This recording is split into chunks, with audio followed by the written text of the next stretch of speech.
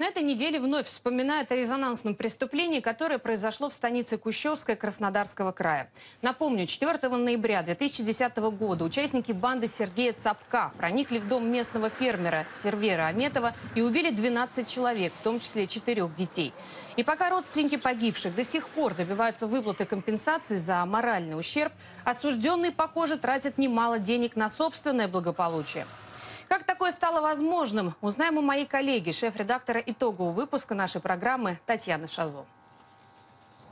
Бывает, что люди, привыкшие к вседозволенности и безнаказанности, оказываются сильнее тех, кто как раз должен это пресекать. Мы не беремся описывать распорядок дня в колонии одного из осужденных и не говорим, что за решеткой он чувствует себя как дома.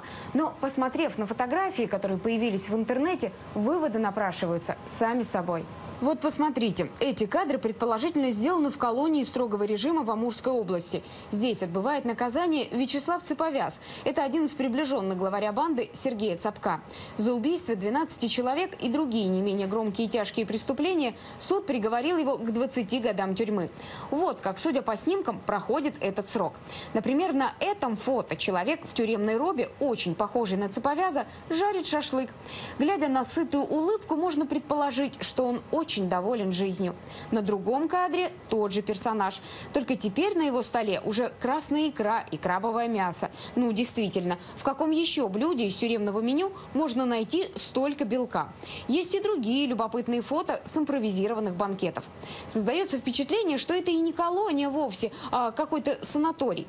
Похоже, администрация исправительного учреждения очень лояльна к избранным осужденным типа Вячеслава Цеповяза. Опять же, судя по снимкам, убийцы почему почему-то разрешено пользоваться мобильным телефоном. И не каким-то, а модным смартфоном с выходом в интернет. Возможно, из далекого приграничного региона преступник решает свои дела на родине. Как сообщают краснодарские СМИ, сейчас в Кущевском районном суде рассматривают сразу три иска от Вячеслава Цеповяза. Он якобы пытается взыскать сельхозпредприятия бывшей жены арендную плату 900 миллионов рублей. Местные жители не исключают, что на эти деньги осужденный убийца попытается купить себе досрочно досрочное освобождение. Верится в такое, конечно, с трудом. Хотя после появления этих фото уже ничему не удивляешься.